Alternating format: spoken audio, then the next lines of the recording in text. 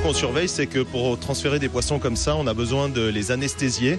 Et euh, le risque, c'est que l'animal soit pas encore tout à fait réveillé. C'est pour ça que là, on a laissé comme une grande période. Elle est restée euh, dans le petit bassin pendant près de 3 heures, jusqu'à ce qu'on estime qu'elle soit réveillée pour pouvoir la lâcher au bon moment.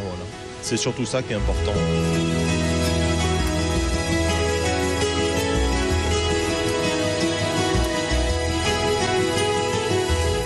Au démarrage, elle, elle va euh, plutôt nager vers le haut, le temps d'appréhender un petit peu euh, euh, tous ses congénères, parce que c'est impressionnant. Vous passe d'un tout petit bassin pendant un an et demi à un très gros bassin avec euh, des grands requins, des gros poissons.